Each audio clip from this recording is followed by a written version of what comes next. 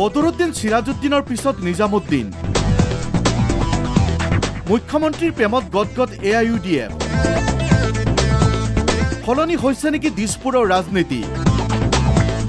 লংকা পৌৰসভাক লৈ বিজেপিক সমালোচনা কংগ্ৰেছৰ। শাসকীয় মিত্ৰজোঁটত অদৃশ্য মিত্ৰ নেকি A I U D F সঁচাকৈ বিজেপিৰ ওচৰ চাপিছে নেকি A I U D F ৰাজনৈতিক আদৰ্শৰে দুই এটা দলৰ মাজত তেলপানীৰ সম্পৰ্ক যদিও শেহতীয়াভাৱে মুখ্যমন্ত্ৰীৰ প্ৰতি দৰদ বাঢ়িছে এ আই ইউ ডি এফৰ নেতৃত্বৰ। মুখ্যমন্ত্ৰী ডক্টৰ হিমন্ত বিশ্ব শৰ্মা অসমৰ শ্ৰেষ্ঠ মুখ্যমন্ত্ৰী বুলি এ আই ডি এফ প্ৰধান বদৰুদ্দিন আজমল আৰু দলটোৰ ছেকেণ্ড ইন কমাণ্ড চিৰাজুদ্দিন আজমলে মুকলিভাৱে প্ৰকাশ কৰাৰ পিছত এইবাৰ মুখ্যমন্ত্ৰীৰ প্ৰীতিৰ কথা প্ৰকাশ কৰিলে দলটোৰ আন এগৰাকী বিধায়ক নিজামুদ্দিন চৌধুৰীয়ে। কংগ্ৰেছৰ বিৰুদ্ধে তীব্ৰ বাক্যবান প্ৰকাশ কৰি মুখ্যমন্ত্ৰীক ভূয়সী প্ৰশংসা কৰিলে হাইলাকান্দিৰ এ আই ইউ ডি এফৰ বিধায়ক নিজামুদ্দিন চৌধুৰীয়ে। মাননীয় মুখ্যমন্ত্ৰী আপোনালোকে দেখিছে টুৱেণ্টি ফ'ৰ আৱাৰ্ছ কাম কৰা মানুহ যদি সঁচা কথা কয় আমি কংগ্ৰেছে বহুত ভাল। অসমৰ ছুপাৰ চি এম মুখ্যমন্ত্ৰী আমি আশাবাদী যে বহুত বেছিকৈ কাম হ'ব অসমত। মই মই ধন্যবাদ দিছোঁ টুৱেণ্টি ফ'ৰ আৱাৰ্ছ কাম কৰাৰ কাৰণে। গোটা অসমত ইমান চকুৰ দি থাকে। সঁচাকৈ এইটো ধন্যবাদ দিব লাগে। এ আই ডি এফৰ মুখ্যমন্ত্ৰীৰ প্ৰীতিক লৈ বিজেপিৰ বিৰুদ্ধে সৰব হৈছে কংগ্ৰেছ নেতৃত্ব। বিশেষকৈ লংকা পৌৰসভা গঠনক লৈ বিজেপিক এ আই ডি এফে সহায় কৰা বুলি মন্তব্য ৰকিবুল হুছেইনৰ। শাসকীয় মিত্ৰজোঁটৰ নতুন অংশীদাৰ A I U D F. ৰাজ্য চৰকাৰত অগপতকৈ শক্তিশালী আজমল বাহিনী। পূৰ্বেও দৰং পৌৰসভা এ আই ডি এফৰ সহায়ত বিজেপিয়ে দখল কৰাৰ অভিযোগ উত্থাপন হৈছিল।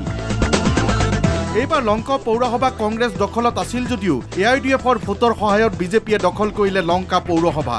যাৰ বাবে আজমল বাহিনীক ৰাজ্য চৰকাৰৰ নতুন সহযোগী হিচাপে আখ্যা দিলে কংগ্ৰেছ নেতা ৰকিবুল হুছেইনে লংকাটো ইউ ডি এফৰ সহায় লৈ হ'ল।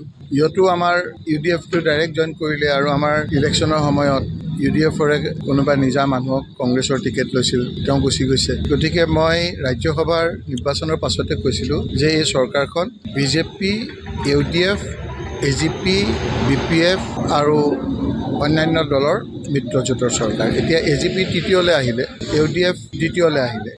অৱশ্যে কিয় আজমলক লগত ৰাখিব বিচাৰিছে মুখ্যমন্ত্ৰী হিমন্ত বিশ্ব শৰ্মাই? তাকো ক'লে ৰকিবুল হুছেইনে। বিজেপি ইউ ডি এফক বিচৰাটো প্ৰয়োজন নাছিলে।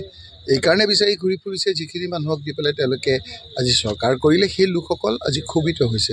সেই লোকসকলে আজি তেওঁলোকক ভাল পোৱা নাই। বিহুৰ সময়ত বিভিন্ন পৰৱৰ সময়ত যিদৰে আপোনাৰ বস্তু বাহিনীৰ দামে মানুহক জুৰুলা কৰিছে সেই কথা বতৰাবিলাকত তেওঁও গম পাইছে। আমাৰ যিসকলে বিজেপিৰ মুধাফুটা ব্যক্তি সেইসকলেও গম পাইছে আৰু সেইকাৰণে ভাবিছে যে এইবাৰ ইউ ডি এফক অকণমান হাতত ৰখা ভাল। ইপিনে বিৰোধীৰ বিৰুদ্ধে ৰাজ্য চৰকাৰে দমনমূলক নীতি গ্ৰহণ কৰাৰো অভিযোগ ৰকিবুল হুছেইনৰ। ঊনৈছশ একানব্বৈ চনত কংগ্ৰেছৰ বিৰুদ্ধে আলফাই মুকলিক হুংকাৰ দিয়া লেখীয়াকৈ বৰ্তমানো বিজেপিয়ে দমনমূলক নীতি গ্ৰহণ কৰা বুলি মন্তব্য জ্যেষ্ঠ কংগ্ৰেছ নেতাগৰাকীয়ে। চৰকাৰখনে কি ধৰণেৰে কাম কাজ কৰিছে? ডাঙৰ ডাঙৰ কথা কৈছে মানুহক প্ৰতিশোধ লৈছে কিন্তু যেতিয়া ইতিহাসে এই কথাবিলাক চাব তেতিয়া কিন্তু ইয়াৰ পৰিণামটো ওলোটা হ'ব আৰু তেতিয়া এওঁকে দুখিব। ঊনৈছশ একানব্বৈ চনতো কংগ্ৰেছৰ এনেকুৱা দিন আহিছিলে। সেই সময়ত আলফা গুপ্ত হত্যা আদিৰ ভয়ত মানুহে মুখ মেলা নাছিলে। কংগ্ৰেছৰ এম এল এ প্ৰাৰ্থী হ'বৰ কাৰণে বিচাৰি পোৱা নগৈছিলে। দবকাৰ পৰা চানমুন আহমেদ আৰু হাইলাকান্দিৰ পৰা অমিতাভ শৰ্মাৰ সহযোগত কমলেশ বৰ্মনৰ ৰিপৰ্ট দ্য নিউজ প্লাছ।